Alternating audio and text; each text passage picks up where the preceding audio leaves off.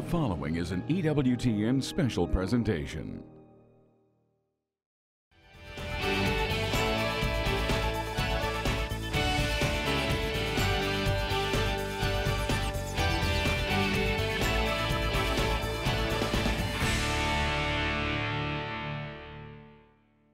I don't think our next speaker ne- needs any introduction to any of you, but nevertheless, I'll do it.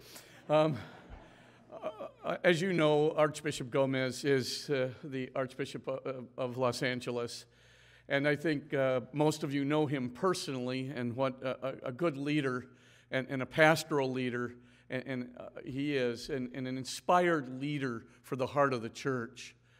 Um, Archbishop Gomez experienced really uh, a meteoric rise through the episcopacy after he um, was uh, ordained through the Opus Dei pre- pre- prelature, and uh, in 2001 became the, uh, the auxiliary bishop of uh, Denver, and then he became the uh, Archbishop of San Antonio in 2005. 2010 was appointed to be coadjutor bishop here in Los Angeles and then in 2011, the Archbishop of Los Angeles. I think all of you know the impact that uh, he has already made in the whole area of immigration and vocation promotion. And of course, he helped to organize CALL, the um, Catholic Association of Latino Leaders, bringing together so many bishops and Latino leaders and, into this very powerful organization now that represents uh, the Latino uh, leadership uh, around the United States. So it is a great honor uh, to introduce to you today, once again, Archbishop Gomez. Thank you. Thank you, Father Spitzer. Good afternoon to everyone. Very happy to be with all of you today uh, for uh, at the beginning of our Napa Institute conference. I uh, noticed that um, the theme for today is the, is the sanctity of work. So um, I uh, wanted to especially, talk about the spirituality of work, but then I realized that uh, there is another uh, topic that uh, I think is very important for us as we uh, consider the sanctity of work, and that's the dignity of the human person. A few years ago, I was invited to uh, um, uh, uh, write an essay for the uh, University of Notre Dame Journal of Law, Ethics, and Public Policy, precisely about the sanctification of uh, the spirituality of work. Uh, and they were nice enough to publish it in that um, Uh, journal. So uh, you want to know a little more of what uh, I think about spirituality of work, uh, uh, may I suggest to you to, uh, I guess, go online and try to see if the spiritual, the University of Notre Dame still has that little essay. If not, I'll be happy to send it to, to you um, because I have some extra copies. Since not too many people were interested, but that it's kind of part of my um, my spirituality because uh, as Father Spitzer said, I'm a, a, a priest of uh, the prelature of Opus Dei. And one of the central messages of Opus Dei is precisely the sanctification of work, uh, the spirituality of work. Saint Jose Maria Escrivá, the founder of Opus Dei, was uh, specifically uh, uh, interested in helping us to understand the importance of sanctification of work in our lives. But today, I wanted to talk to you about the vision of human nature and the human person that we find in the scriptures and in Catholic moral and social teaching. As we all know, Pope Francis has been urging the Church to renew its attention on people and the dignity of the person. In his inaugural homily, he spoke of the need for us to protect people and to show loving concern for each and every person. And unfortunately, this discussion has become urgent in light of the recent Supreme Court decisions on marriage and continuing develop developments in, in our culture. One of those issues that is in front of us is the issue of uh, immigration reform. And it was very impressive to me to uh, see the Holy Father, Pope Francis, go to uh, the island of Lampedusa in Italy to precisely talk about immigration.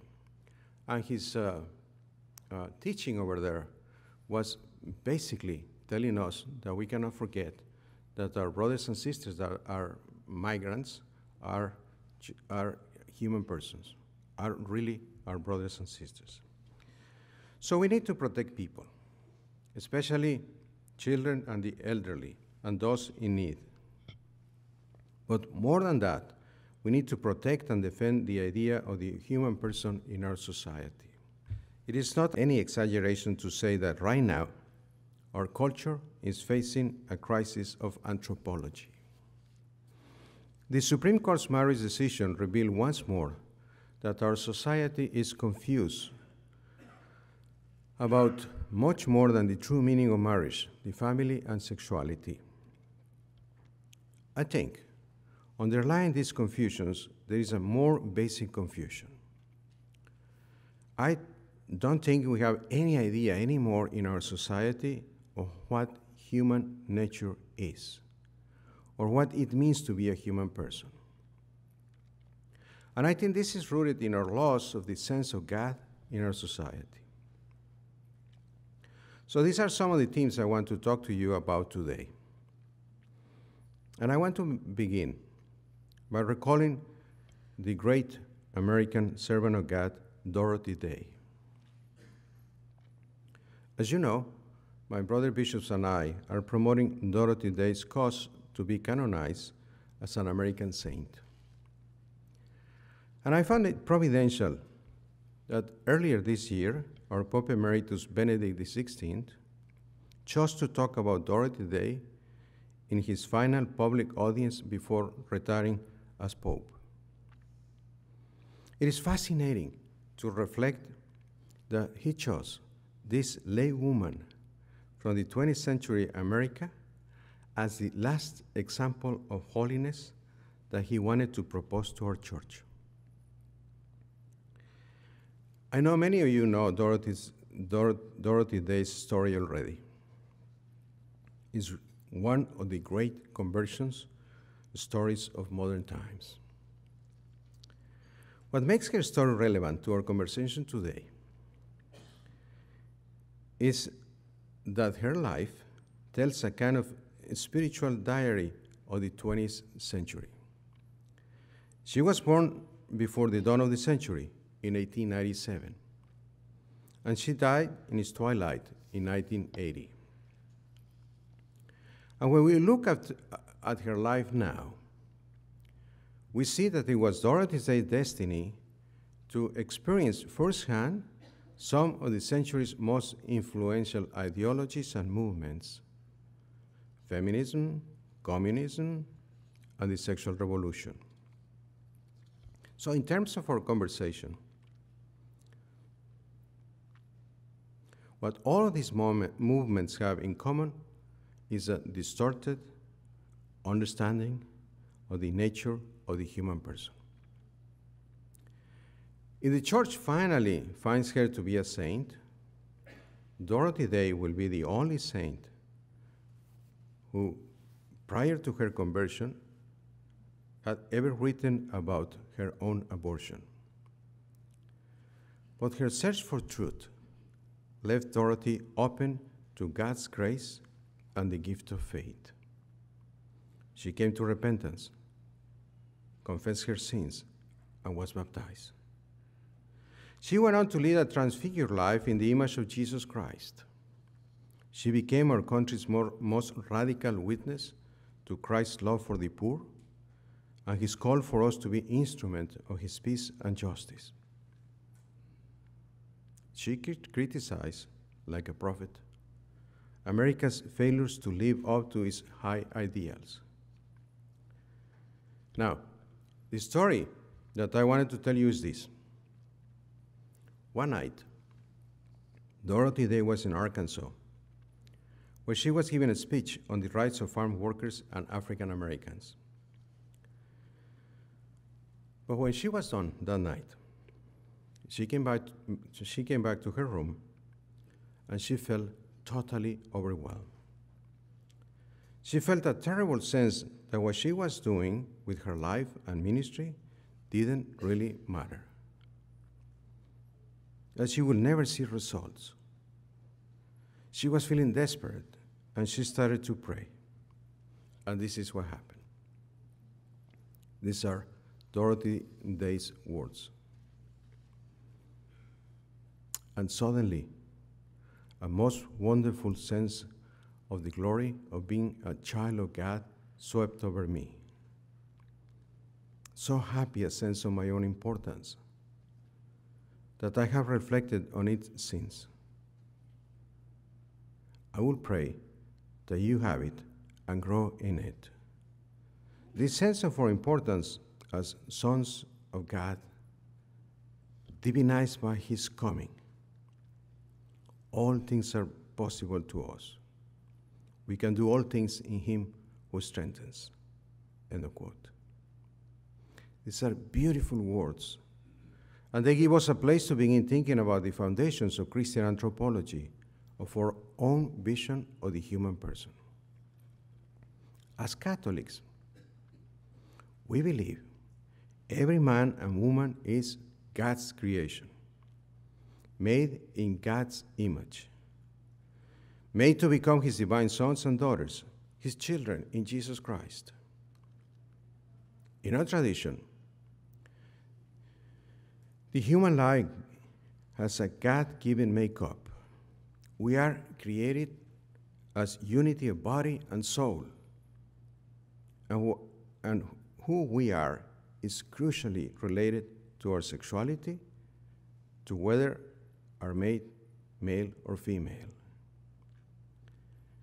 Now, what is going on in our culture today is the almost total rejection of this idea of the human person.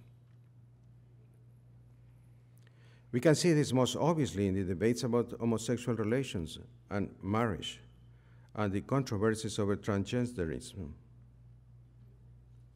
What's going on is that we are living in a culture of extreme individualism. And people believe that they have the ability to create and recreate themselves through science and psychology, especially in the areas of their sexuality. They don't see their lives as a gift, but as a kind of raw material from which they can modify and refashion according to their own desires and their own sense of meaning and purposes.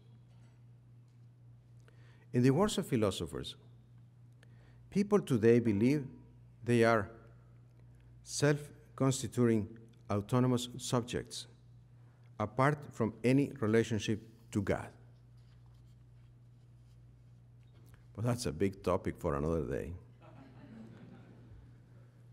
So, what I want to talk to you about next is the roots of this disorder anthropology. As I see it, the root of the problem is our, uh, our, our growing forgetfulness of God.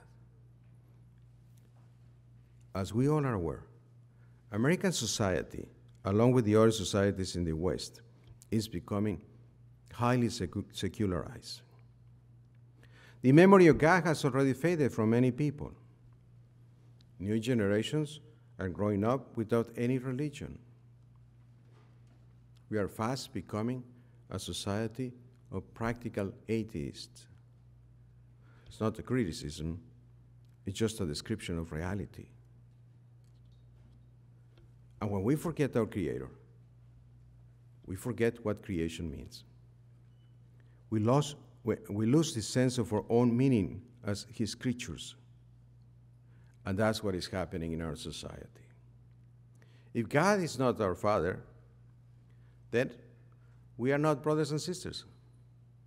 And we have no responsibility for one another. But the loss of God has even more personal implications for our sense of meaning. When we lose our sense of God, we lose the thread that holds our lives together. We lose the answers to the questions that help us make sense of the world. What kind of person should I be? Why should I be good? Why should I be living? Why should I be living for? and why? Many of the elites in our culture today will argue that there are no true answers to these questions, just different opinions, beliefs, and preferences. But we know that that is not true. We know people need those answers. Without those answers, we do not know anymore what makes a human being human. In his first encyclical, Lumen Fidei, Pope Francis writes about this in almost poetic language. He writes,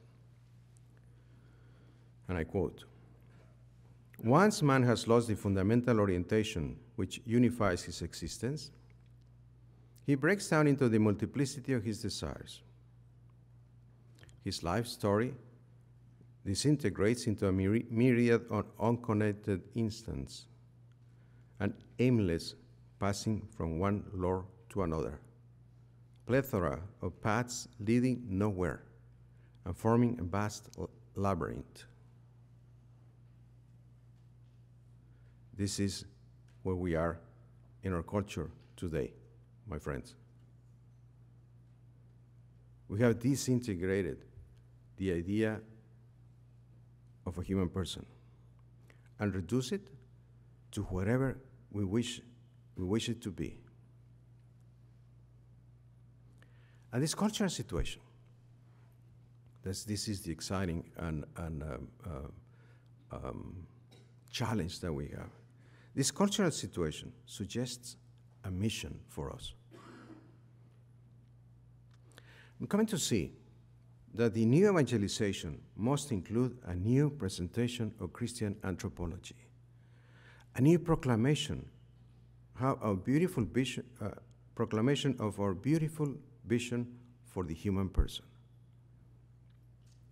God has entrusted us with the beautiful truth that the human person is sacred, that every man and woman is created in the image and likeness of God.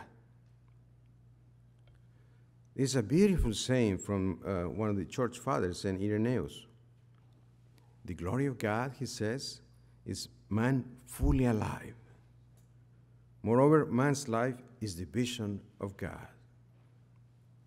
Just a few weeks ago, um, I was invited to talk, to give a talk in one of the synagogues in Los Angeles.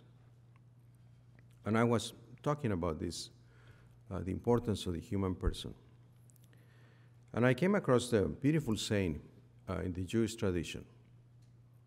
I talk about, about it in that uh, presentation. That says, and it gives us the, the idea of the importance of the human person created in the image and likeness of God. It says, A procession of angels pass before a human being wherever he or she goes, proclaiming, Make way for the image of God. It is really beautiful to think that the angels are coming in front of us saying, Make uh, way for the image of God. That's who we are. So the men and women of our times need to hear this good news. They need to know they are the glory of God, created and destined for the vision of God. They need to know that they are God's image and that everyone they meet is God's image too. We need to be the ones who tell them that their lives are not trivial, that humans are not, not just random beings contingent products of evolution, going through life with no why or reason.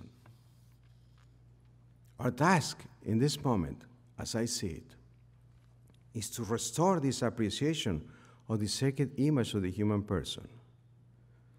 We need to bring this truth into our homes and neighborhoods and churches. We need to proclaim to our society what both the Old and New Testament affirm that each human person comes from the loving thought of God, that we are all made for holiness, that we are made to live as God's image in the world. So we need to help our neighbors to see that all our lives are not our project, but God's project. We are God's work of art. That by His grace and His law, God wants to make each of us more like Him day by day.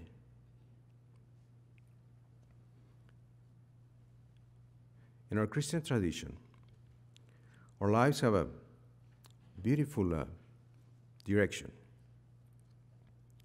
Jesus shows us who we are. He shows us that we are children of God, born of the love of the Father. We're born to love and to be loved. And we do that by loving as Jesus loved. The direction and purpose of our lives is to become more and more like Jesus to the grace of, through the grace of God and our desires for holiness. The Catechism of the Catholic Church puts it beautifully. The vocation of humanity is to show forth the image of God and to be transformed into the image of the Father's only Son. So, my dear friends, I am convinced that this truth about the sacred image and destiny of the human person is a key to the new evangelization. We need to make this truth the substance of our preaching, our religious education, our work for justice. So let me stop here and close with another quote from Dorothy Day. I chose this quote because it also reflects her profound sense of Christian anthropology. She wrote these words about the birth of her daughter. I was, she wrote, supremely, supremely happy. If I had written the greatest book, composed the greatest symphony, painted the most beautiful painting, or carved the most exquisite figure, I could not have felt more the exalted Creator than I did when they placed my child in my arms. To think that this thing of beauty had come from my flesh was my own child. Such a great feeling of happiness and joy filled me that I was hungry for someone to thank, to love, even to worship for so great a good that had been bestowed upon me. Beautiful words. We are indeed created in the image and likeness of God. We are the beloved sons and daughters of God. So, this is the beautiful bishop of Christian anthropology the vision of the human person as the image of God, called to share through our human bodies in God's own divinity and in His work of creation. So, my dear friends, let us look for new ways to share this beautiful vision with our society, which needs it so much today. Thank you, and God bless you all.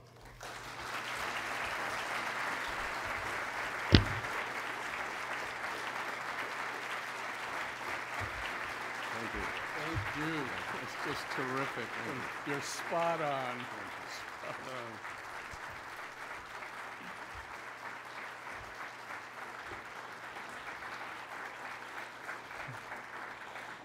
Thank you so very much, Archbishop Gomez. I, I have to say, um, you're just spot on. And uh, I have seen so many times in my own life, my own uh, religious practice, and certainly in uh, my religious mission, I can just say that this one idea has such incredible transformative power. But as Archbishop Gomez says, we not only have to understand that we're made in the image and likeness of God, we have to believe it so hard that we'll live it and we'll give it away unto the transformation of culture. And, and when we do, and when we believe in it that much, because it's not only written in, in, script, in uh, Christian scripture, but when it's written in our hearts, we will have transformative power in culture. I think that's certainly a, a, a testimony of Archbishop Gomez's life and certainly my own. So thank you once again, Archbishop Gomez. Absolutely.